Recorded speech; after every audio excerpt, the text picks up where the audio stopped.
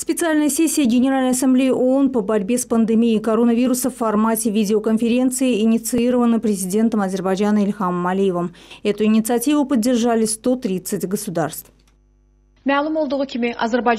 Инициатива президента Азербайджана Ильхама Алиева о созыве специальной сессии Генеральной Ассамблеи ООН поддержана гораздо большим числом государств, чем того требует правила процедуры ООН. Генеральный секретарь ООН направил всем государствам-членам 30 июня 2020 года ноту, в которой отметил, что инициатива поддержана большинством государств-членов ООН и что 31-я специальная сессия Генеральной Ассамблеи состоится 10 июля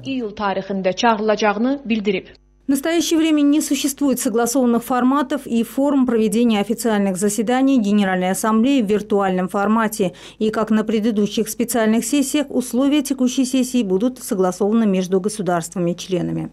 В начале специальной сессии будут рассмотрены процедурные вопросы, а на следующем этапе будут проведены обсуждения. В качестве временного председателя будет выступать глава нигерийской делегации, представляющей председателя 74-й сессии Генеральной Ассамблеи. Специальная сессия будет способствовать повышению солидарности государств мира в борьбе с пандемией, укреплению международного сотрудничества и поиску международного ответа на эту глобальную угрозу. Эсли Назарова, CBC.